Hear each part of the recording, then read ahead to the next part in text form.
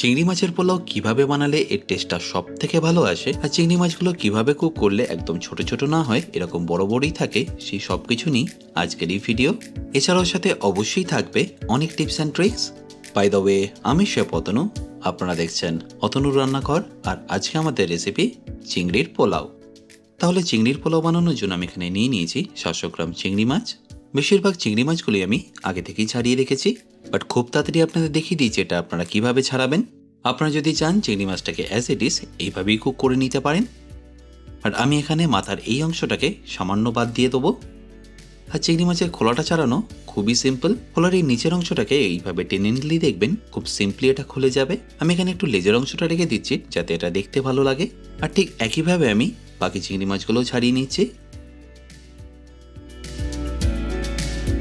আচ্ছা এখানে বলে রাখি, চিংড়ি মাছের এই পিঠের দিকটা তো সামান্য একটু ময়লা থাকে, তাই চিংড়ি মাছের পিঠের দিকটা এইভাবে কেটে নিয়ে ময়লাটাকে বের করে নেবেন। তাহলে আমাদের সবকটা চিংড়ি মাছ ছাড়ানো হয়ে গেল। এবার পোলাওটা বানানোর জন্য আমি এখানে নিয়ে নিচ্ছি পাঁচশো গ্রাম বাসমতি চাল। চালটাকে অতি অবশ্যই আপনাদের একটু ভালো করেই ধুয়ে নিতে হবে। বাট ধোয়ার সময় মনে রাখবেন যেন খুব বেশি আপনারা এটা প্রেস করে ধোবেন না। খুব বেশি প্রেস করে ধুলে এই চালগুলো কিন্তু ভেঙে যাওয়ার একটা সম্ভাবনা থাকে, তাই একটু হালকা হাতে এটাকে ভালো করে ধুয়ে নেবেন।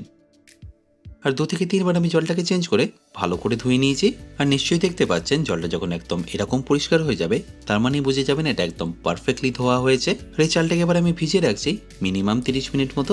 আর এই পোলাওয়ের জন্য আপনারা পেঁয়াজটা কীভাবে কাটবেন সেটাও দেখে নিন। আমি এখানে তিনটে মিডিয়াম সাইজের পেঁয়াজকে এভাবে পাতলা পাতলা করে কেটে নিচ্ছি। চেষ্টা করবেন পেঁয়াজগুলো যেন এরকম সমান সাইজেরই কেটে নেওয়া হয়। তাহলে এগুলো কুক করার সময় একদম ইভেনলি কুক হবে। এবার একটা কড়াইতে আমি নিয়ে নিচ্ছি সাদা তেল।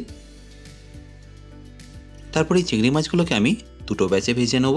আর চিংড়ি মাছগুলোকে তেলে দেওয়ার আগে আমি সামান্য একটু নুন দিয়ে ম্যারিনেট করে নিয়েছি।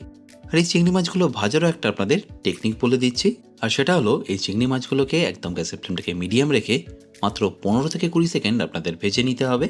এর থেকে বেশি ভাজলেই চিংড়ি মাছগুলো গুটিয়ে ছোট হয়ে যাবে আর টেক্সচারটাও অনেকটা শক্ত হয়ে যাবে। তাই অবশ্যই আপনারা এই টিপসটা ফলো করবেন। এবার একইভাবে আমি বাকি চিংড়ি মাছগুলোকেও ভেজে নেব। এবার এই চিংড়ি ভাজার তেলে আমি দিয়ে দিচ্ছি এক চা চামচ ঘি। এবার এই ঘি আর তেলটা গরম হয়ে গেলে আমি এখানে দিয়ে দেবো কিছু গোটা গরম মশলা, যেমন দুটো ছোট টুকরো দারচিনি, চারটে এলাচ, সাথে চারটে লবঙ্গ আর হাফ চা চামচ গোটা গোলমরিচ। এই গরম মশলাগুলো তেলে একবার ভালো করে ফ্লেভারটা ছেড়ে দিলে আমি এখানে দিয়ে দেবো আমাদের কেটে রাখা পেঁয়াজগুলো। এই সময় আপনারা গ্যাসের ফ্লেমটা একদম হাই রাখবেন, যাতে পেঁয়াজগুলো আমাদের খুব তাড়াতাড়ি ভাজা হয়ে যায়। আর এই পেঁয়াজ ভাজার সময় আপনাদের দিয়ে দিতে হবে সামান্য একটু সাজিরা আর মিনিমাম সাত থেকে আট মিনিট এই পেঁয়াজটাকে আপনাদের ভেজে নিতে হবে। পেঁয়াজটা কিন্তু আপনাদের খুব বেশি লাল করে ভাজার দরকার নেই। যখনই দেখবেন এরকম হালকা কালার চলে এসছে তখন এখানে আপনাদের দিয়ে দিতে হবে কিশমিশ আর সাথে দশ থেকে বারোটা কাজু বাদাম। এবার এই পেঁয়াজের সাথে আরও দু থেকে তিন মিনিট এটাকে ভেজে নিন। এই কাজু আর কিশমিশটা ভালো করে ভাজা হয়ে গেলে এখানে দিয়ে দিচ্ছি দু চা চামচ আদা রসুন বাটা। এই আদা রসুনটা ভালো করে মেশানো হয়ে গেলে আমি এখানে দিয়ে দিচ্ছি কিছু মশলা, যেমন এক চা চামচ ধনে গুঁড়ো সাথে হাফ চা চামচ জিরে গুঁড়ো, রঙের জন্য হাফ চা চামচ কাশ্মীরি লঙ্কার গুঁড়ো আর হাফ চা চামচ হলুদ।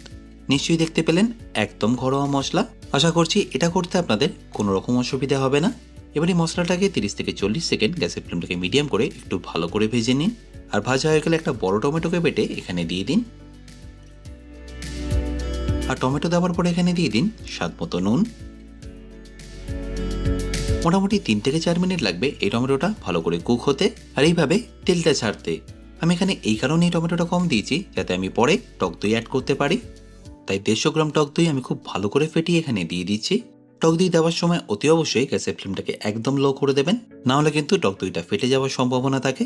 আর আপনারা যদি টক দইটা অ্যাভয়েড করতে চান, সেক্ষেত্রে এখানে একটা জায়গায় আরও দুটো টমেটো ব্যবহার করবেন। আর টক দইটা একবার ভালো করে মেশানো হয়ে গেলে তারপরে আপনার গ্যাসের ফ্লেমটাকে মিডিয়াম করতে পারেন।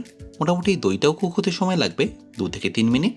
আস্তে আস্তে দেখবেন দইটা থেকে তেলটা ছাড়া শুরু করছে। তখনই বুঝবেন এই গ্রেভিটা কিন্তু আপনাদের পারফেক্টলি রেডি হয়ে গেছে।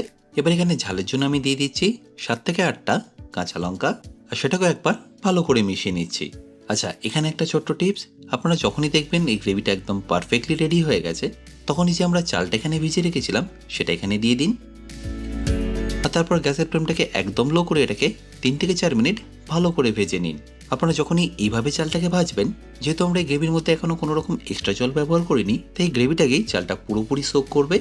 এতে চালের ফ্লেভারটা কিন্তু দ্বিগুণ হয়ে যাবে। আর অবশ্যই এটাকে কিন্তু খুবই হালকা হাতে এইভাবে মিশিয়ে নেবেন, যাতে চালের দানাগুলো কোনোভাবেই ভেঙে না যায়।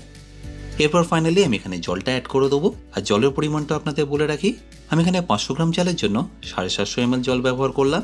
যদিও জলের পরিমাণটা কিন্তু চাল অনুযায়ী ডিপেন্ড করে যে আপনারা কোন চাল ব্যবহার করছেন। মোটামুটি এই রেশিওটার কিন্তু আশেপাশেই হবে। জল দেওয়ার পরে অতি অবশ্যই এটাকে একবার ভালো করে মিশিয়ে নেবেন।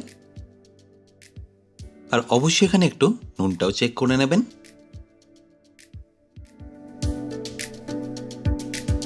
এবার ঢাকা দিয়ে গ্যাসের ফ্লেমটাকে মিডিয়াম টু হাই করে, এটাকে ভালো করে আট থেকে দশ মিনিট কুক করে নেব। আমি এখানে কোনো রকম তাওয়ার ব্যবহার করছি না। ডাইরেক্টলি গ্যাসে এটা করে নিচ্ছি। আর যদি আপনারা এরকম কোনো ছিদ্রযুক্ত ঢাকনা ব্যবহার করেন, সেক্ষেত্রে একটা এরকম লবঙ্গ দিয়ে এটাকে বন্ধ করে দিতে পারেন, যাতে স্টিমটা বাইরে না বেরিয়ে যায়। আট থেকে দশ মিনিট পরে নিশ্চয়ই দেখতে পাচ্ছেন, জলটা কিন্তু অনেকটাই কমে এসছে। ঠিক এই স্টেজে আমরা যে চিংড়ি মাছগুলোকে ভেজে রেখেছিলাম, সেটা এখানে দিয়ে দেবো। এই পদ্ধতিতে করলে চিংড়ি মাছগুলো একদম পারফেক্টলি নরম হবে, আর সাইজটাও একদম পারফেক্টলি থাকবে। এবার গ্যাসের ফ্লেমটাকে একদম লো করে আরও সাত থেকে আট মিনিট কুক করে নেব। আর সাত থেকে আট মিনিট পরে গ্যাসের ফ্লেমটাকে বন্ধ করে এটাকে রেস্টিংয়ে রেখে দিতে হবে মিনিমাম দশ মিনিট মতো। তারপর ফাইনালি দশ মিনিট পরে ঢাকাটা খুলে নিলেই দেখবেন চিংড়ি পোলাও কিন্তু পারফেক্টলি রেডি নিশ্চয়ই দেখতে পাচ্ছেন, চিংড়ি মাছগুলো কিন্তু অ্যাজ ইট ইস আছে রাইসগুলো কিন্তু একটাও ভেঙে যায়নি। আশা করি এই সহজ রেসিপিটা আপনাদের নিশ্চয়ই ভালো লেগেছে। আর ভালো লাগলে প্রতিবারের মতো আমাকে কিন্তু কমেন্টে জানাতে ভুলবেন না। বাই দ্য ওয়ে আমি সে পতনু আপনারা দেখছিলেন অতনু রান্নাঘর। দেখা হচ্ছে আপনাদের সাথে আর একটা নতুন রেসিপি নিয়ে নেক্সট এপিসোডে ভালো থাকবেন, সুস্থ থাকবেন।